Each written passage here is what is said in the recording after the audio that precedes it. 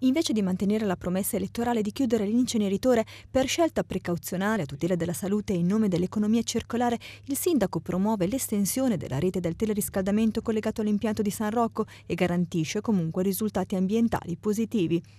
Non sono in programma solo gli accordi con aziende delle aree industriali in espansione per alcune centinaia di utenze domestiche in più. Il teleriscaldamento viene allacciato anche a cinque edifici pubblici in più.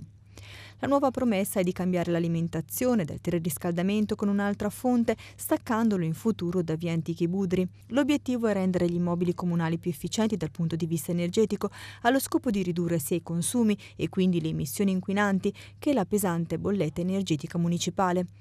L'amministrazione cremonese è gravata infatti da un patrimonio immobiliare spesso vetusto e bisognoso di una serie di interventi di efficientamento energetico. Vengono collegati alla rete che ancora proviene dall'inceneritore, la scuola media Virgilio di Via Trebbi, la primaria Agazzi Monteverdi, il complesso San Francesco e un condominio popolare di Piazza Patrioti a Borgo Loreto con forniture di calore secondo la tariffa enti locali, compresa anche la manutenzione ordinaria e un nuovo sistema di regolazione e di controllo per evitare sprechi e consumi eccessivi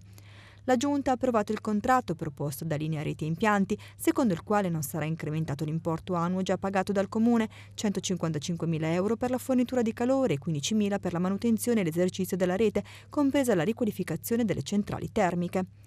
Il sindaco Gianluca Galimberti ha dichiarato di essere soddisfatto del risparmio energetico medio complessivo che sarà raggiunto nei cinque edifici per oltre il 7%, mentre la scuola media Virgilio ridurrà i consumi energetici del 15%. Un vantaggio anche per l'ambiente, 200 tonnellate annue in meno di anidride carbonica emesse nell'atmosfera, senza parlare però dell'inceneritore.